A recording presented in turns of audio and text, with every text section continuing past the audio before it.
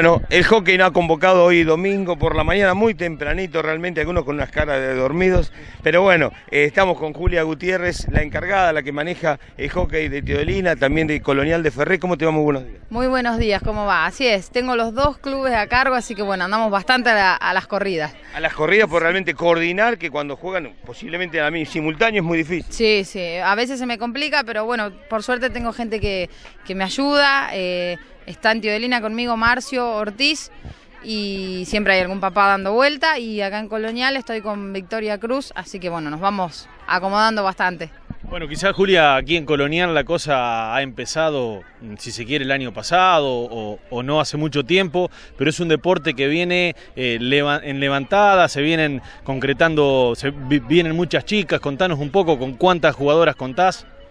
Exacto, venimos eh, de a poco, mm, se van sumando, eh, esto no arrancó, no fue un boom enseguida, así que bueno, se fueron sumando, tenemos bastantes chicas, debemos tener alrededor de 50 más o menos, tenemos, contamos con categoría participativa, las infantiles, eh, sub 10, sub 14 y sub 18.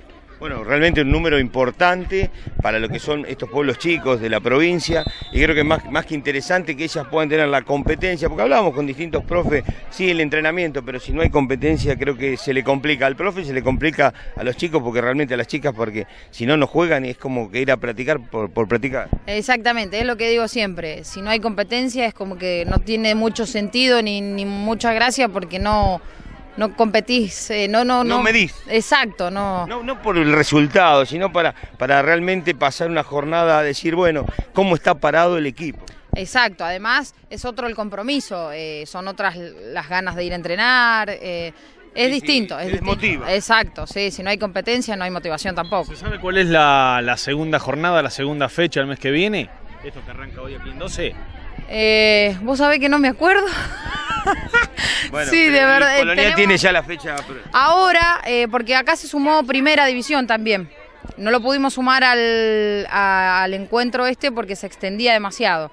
Entonces se dividió la liga en dos, en lo que sería de sub 10 a sub 18 juegan juntas en el mismo encuentro y la primera se dividió aparte. Eh, por otros días. Exacto, la primera juega el fin de semana que viene, eh, de local somos nosotros, Colonial, y bueno, y vienen todos los equipos de acá de la liga. Eso sería primera división y también por la mañana, o como no va a haber fútbol, puede ser por la tarde. No, va a ser a la mañana y terminando al igual que esto, alrededor de la una, más o menos. Bueno, así que los domingos ya complicado con fútbol y hockey ahora. Los domingos sí, sí, se llenó. Se llenó el domingo. está- hay más espacio. No, no, no, no podemos meter otra cosa.